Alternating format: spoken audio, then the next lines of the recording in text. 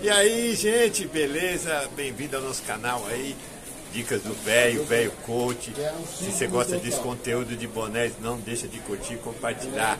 Hoje nós vamos falar exclusivamente de etiqueta. Um grande problema, uma, aliás, uma grande dúvida da maioria dos jovens aí, das pessoas, é por que esse monte de etiqueta em um boné da Lacoste e outro boné só tem uma etiqueta. É real isso aí? É réplica? É o que? Vamos falar sobre isso, sobre isso agora. Não perca. Fique até o final desse vídeo e se você gostar, Gente, não deixe vamos aqui que de eu quero mostrar uma coisa para vocês aqui.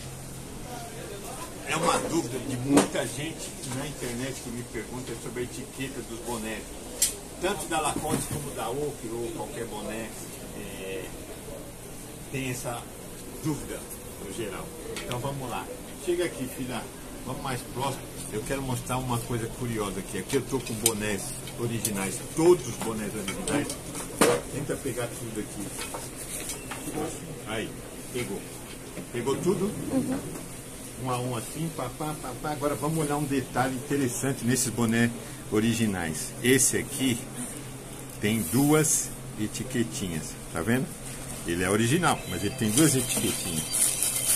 Esse aqui Fala, Sérgio. tem um monte de etiquetas já. Uma, duas, três, quatro, cinco etiquetas. É, seis. Cinco, seis etiquetas. Esse aqui, três etiquetas. Mas é original. Esse aqui já tem quatro etiquetas. Mais essas daqui que é.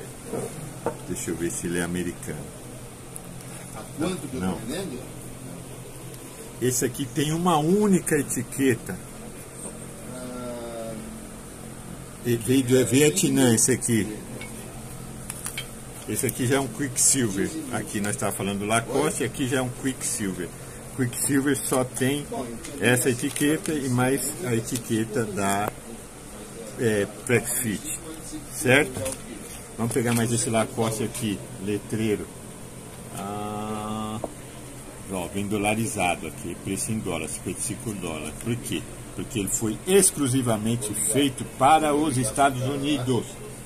Foi feito para ser com... foi feito para ser comercializado nos Estados Unidos. Por isso ele tem uma etiqueta só. E por que, tem uma etiqueta só? Porque a- a, a- o governo americano ele é diferente do nosso governo, ele tem menos exigência. É um imposto único. Então não tem tanta exigência. Aí, por causa disso, uma etiqueta só. Agora, quando o produto vem de fora e ele é enviado para muitos países, que é o caso do- desse boné esporte aqui, aí ele é obrigado né, colocar várias etiquetas, porque ele é importado para muitos países, entendeu? Então, ele tem uma etiqueta com vários. Ó, chega aqui perto. Olha aqui, ó, importado por Uruguai, mas ele também tem aqui importado por Chile.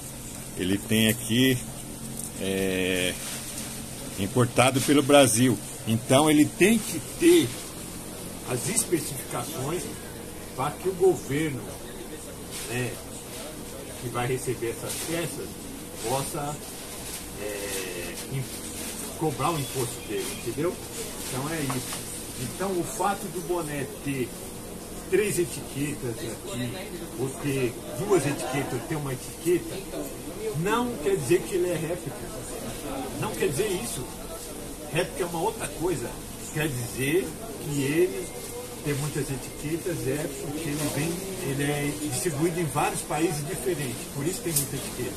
Quando é para um país só, igual os Estados Unidos, que tem um imposto único, aí é colocado uma etiqueta só. Quando é enviado para um país que nem o Brasil, além dessas etiquetas, é colocado mais uma etiqueta, porque é um país cheio de, de restrições, de, de, de leis e etc.